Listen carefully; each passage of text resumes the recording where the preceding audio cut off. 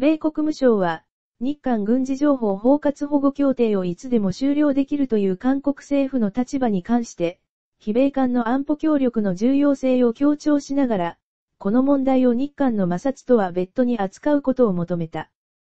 米国務省の報道官室の関係者は6日、米国政府が運営する国営放送であるボイスオブアメリカで日本と韓国が迅速で効率的な軍事情報を共有するという内容は、日本と韓国の安保だけでなく米国の安保にもとても重要であり、さらに広い地域の安定にも重要だと語った。